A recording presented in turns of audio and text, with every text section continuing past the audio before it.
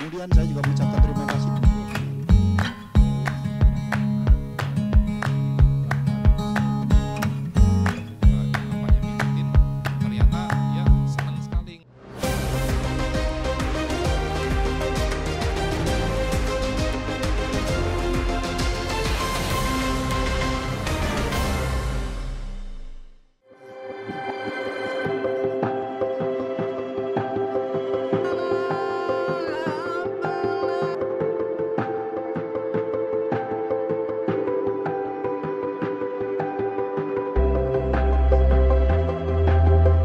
DPP LDI menyelenggarakan webinar kemandirian yang bertajuk Keluarga Mandiri, Keluarga Berseri, Keluarga Mandiri, Bangsa Berdikari.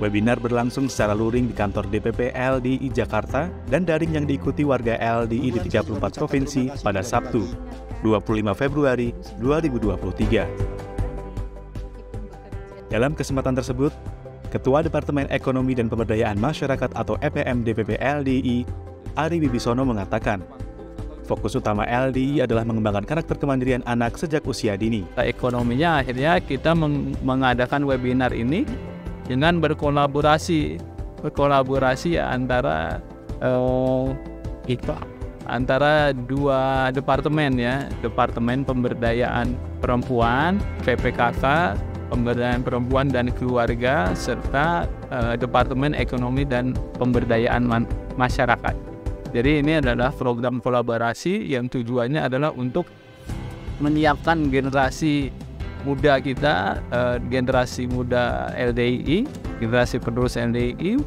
bisa menjawab tantangan ke depannya, gitu, tantangan eh, tantangan zamannya dan juga bisa berkontribusi nanti buat negeri kita ini. Senada dengan Ari, pemateri webinar kemandirian dan juga anggota EPM LDI, Anur Budi Utama menjelaskan mengenai tiga bentuk kemandirian. Kalau mandiri itu kan ada tiga dunia yang bisa kita eksis di dalamnya. Pertama kita eksis mandiri di dunia kita sendiri sebagai anak ya, aku ngomong. Aku punya duniaku, ya aku eksis di duniaku sendiri. Itu yang pertama. Kalau mau eksis di duniaku sendiri, ya orang tua harus tahu dan harus ridho. Kemudian yang kedua adalah aku eksis di dunia yang orang tua aku suruh. Misal orang tuaku dosen, orang tuaku nyuruh aku jadi dokter. Nah, aku ya ikutin apa yang orang tuaku suruh. Aku masuk ke dunia kedokteran, menjadi dokter. Nah, itu eksis di dunia yang orang tuaku suruh.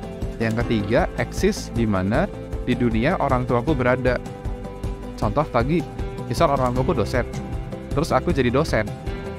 Bapak orang tuanya dosen, anaknya dosen. Orang tuanya petani, anaknya petani. Orang tuanya pedagang, anaknya pedagang. Berarti kan si anak itu, aku misal, itu kan eksis di dunia orang tua aku berada.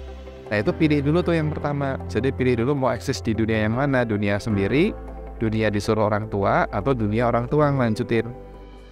Sementara itu, anggota Departemen Pemberdayaan Perempuan dan Kesejahteraan Keluarga atau PPKK DPP LDI, Dian Alia Putri mengatakan, orang tua harus memberikan kesempatan kepada anak untuk mencoba sesuatu hal yang tidak membahayakan diri.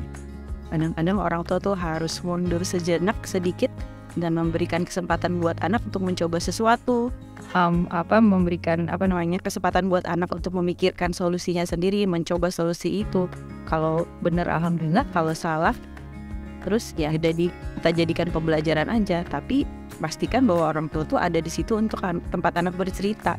Kan dia akan menceritakan pengalaman-pengalamannya. Nah dari situ nanti bisa dikaji ulang gitu. Di mana letak yang bisa diperbaikinya. Jadi kalau misalkan mau kemandirian itu nggak selalu didampingin terus, tapi dikasih kesempatan dia mencoba sendiri.